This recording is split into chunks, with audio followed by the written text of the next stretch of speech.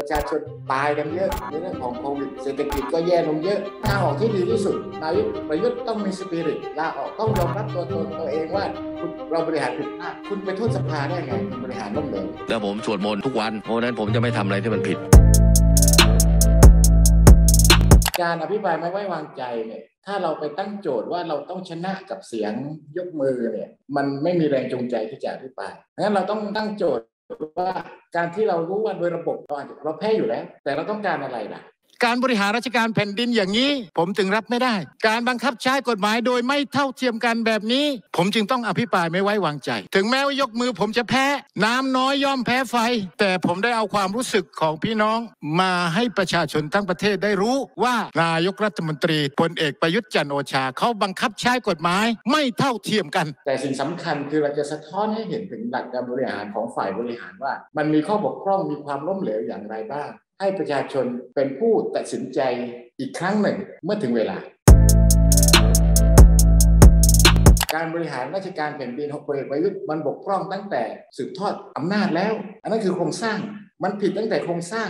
การบริหารงานโดยคณะรัฐมนตรีมันต้องกระจายอำนาจกระจายงาน กระจายนโยบาย แต่พลเอกประยุทธ์ ใช้วิธีการรวบอำนาจรวบอำนาจทุกเรื่องทุกปัญหาไม่ไว้ใจ ปีนี้การที่ปาไม่ไว้วางใจ มันก็เกี่ยวกับสถานการณ์โควิดความล้มเหลวในเรื่องของสถานการณ์โควิดงั้นประเด็นใหญ่ของโควิดรอบนี้มันก็มีผลพวงถึงเศรษฐกิจสังคมของพี่น้องในประเทศ พอกลับมาที่ 3 จังหวัด อันนี้ถ้าคุยแล้วมันมันมันยาว เหมือนที่ใบใบเธอพิปรายสามจังหวัดเราเนี่ยถามว่าสถานการณ์มันลดลงไหมก็ใช่มันลดลง แต่ถ้าดูการจัดสรรก็ประมาณ มันไม่ใช่อะมันถ้าลดลงแล้วทำไมคุณไม่ไม่ไม่จัดสรรก็ประมาณในด้านของการพัฒนามากขึ้นทำไมไม่ให้ทำให้พี่น้องสามจังหวัด มีการศึ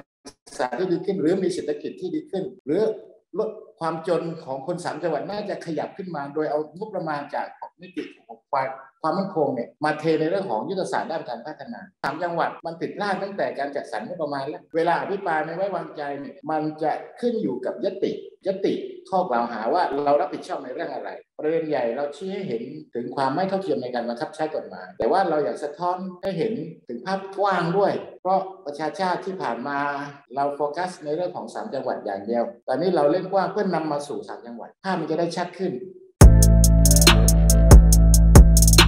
พลเอกประยุทธ์ต้องลาออก ถ้าถามว่าจะยุบสภา สภายังไม่มีความผิดอะไร ตอนนี้นะ สภายังไม่มีความผิดอะไร การยุบสภามันไม่ใช่อยู่ดีๆจะยุบ มันต้องมีเหตุผลมากกว่า แต่ว่าในอดีตที่ผ่านมาเนี่ยเหตุผลของการยุบสภามันมีหลายเหตุผลส่วนใหญ่เป็นเรื่องทางการเมืองมากกว่า มันไม่ใช่ไปดูของระบบรัฐสภาว่าฝ่ายบริหารกับฝ่ายนิติบัญญัติมันย้อนแย้งกันยังไง แต่เป็นเรื่องภายในมากกว่า ทางออกที่ดีที่สุดนายกประยุทธ์ต้องมีสปิริตลาออกต้องยอมรับตัวตนตัวเองว่าเราบริหารผิดพลาดประชาชนตายกันเยอะในเรื่องของโควิดเศรษฐกิจก็แย่ลงเยอะ คุณไปโทษสภาได้ไงคุณบริหารล้มเหลวเป็นความฝันของไบเวเองด้วยว่าเราเข้ามาในสภาก่อนหน้านี้เราทำงานด้านสิทธิมนุษยชนเนี่ยเรามองว่ามันน่าจะมีกฎหมายคุ้มครองโปรแรมมาลายูคนมาลายูบ้านเราที่ถูกบังคับถูกกดทับกับกฎหมายพิเศษ จากการถูกซ่อมทรมานและก็การซ่อมทรมานสามจังหวัดมันวิวัฒนาการมาเยอะมันน่าจะมีกฎหมาย เป็นปาก่ายไว้เป็นรั้วให้กับพี่น้องมาลายู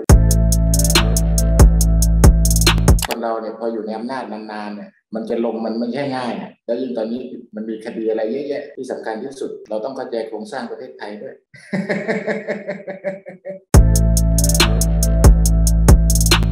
สสประชาชาติถูกปล่อยข่าว หรือแบเวเองก็ถูกปล่อยข่าวว่าจะย้ายพรรคหรือจะมีการซื้อตัวหรือแบเวไปพลังประชารัฐหรือจะไปพรรคนู้นพรรคนี้อาจารย์แจกหรือสสคนอื่น คือประชาชาติทุกคนโดนกันหมดสิ่งที่เราดีใจที่สุดภูมิใจที่สุดก็คือ ต้องรักษาให้นานที่สุดก็คือประชาชาติและตราบใดที่ประชาชาติอยู่แปลว่าต้องรักษาบ้านหลัง ถึงแม้ว่าเราเป็นบ้านหลังเล็ก ไม่หรูหราเหมือนเข้าอยู่แบบพอมีพอกิน เรามองเรื่องของอามานะที่เรารับมาจากพี่น้องนั่นคือเรื่องใหญ่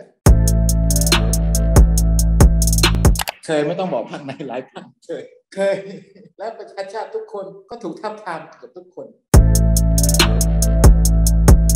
บางทีบางเรื่องของปัจจุบันมันก็ต้องย้อนก ลับไปดูประวัติศาสตร์ดูอดีตเป็นบทเรียน ประเทศไทยมันวนเวียนอยู่อย่างนี้มามาตลอดอะมันวนเวียนอยู่อย่างเนี้ยปฏิวัติรัฐประหารเลือกตั้ง ประท้วง ปฏิวัติเลือกตั้ง ประท้วงมันวนเวียนอยู่อย่างนี้ถ้ามองอดีตก่อนนะการประท้วงที่มีผลให้เกิดการเปลี่ยนแปลงรัฐบาลทำให้นายกลาออกมีอยู่ข้างเดียวก็คือสมัยปี 40 ช่วงเศรษฐกิจฟองสบู่พลเอกชวลิตซึ่งประท้วงไม่กี่คนอะ ก่อนปี 40 และก็หลังปี 40 ตั้งแต่พฤษภาธมินมา การประท้วงของเมืองไทยที่จะก่อให้เกิดการเปลี่ยนแปลงจริง ๆ ถ้าเราศึกษาลึกในอดีต มันต้องจับมือกับกองทัพ เลยนะเพ่โอเคอะอย่าโอเคอะอย่าต้องอินกับคำนี้มากต้องวิปัสสนาอิสระของคำว่าโอเคอะอย่า yang mula sini dulu kena meher dengan khabar terima okey rakyat di situ kita suruh lagi lepas tu kena duduk tahap yang perintah pula kata orang perintah ni dia setara mana dengan suruh okey rakyat pilih Hak perintah tu pula situ. Tapi pada hari ni sekarang masalah ni, kalau hak balik Paikan Soro, nak jadikan mana? Kalau baca cak Soro harga apa, jangan duduk dia. Kayak boleh Soro dalam tempat tu. Tapi nak terlebih baik, nak comel, nak boleh, dah tahu mana, hak tu dia kena mula ajak daripada rakyat pilih. Kena mula situ. Kena beri orang Melayu kita, ada kesedaran cara hal Pahal juga. Pahal kamu okey rakyat hak pilih tu. Tugas okey rakyat hak dia pilih nak buat kerja ke atas, nak suara hati dia tu. Kapo tugas dia. Faham orang semakin mana sepatutnya hidup situ. Dia kena mula situ.